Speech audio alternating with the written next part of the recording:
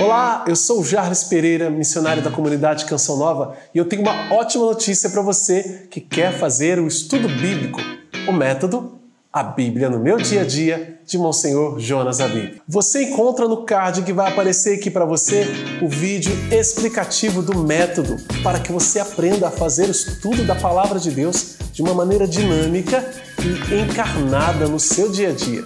Vou deixar aqui também na descrição o link do site e do vídeo do qual eu acabei de me referir. Mas a grande novidade que eu tenho para você é que a partir do dia 1 de dezembro nós vamos começar aqui no canal o plano de leitura que Monsenhor Jonas Abib nos indica no seu livro.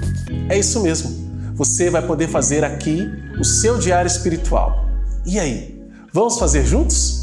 Marque esta data, dia 1 de dezembro, começa o plano de leitura no canal Diário Espiritual, sempre às 19 horas. Eu espero por você.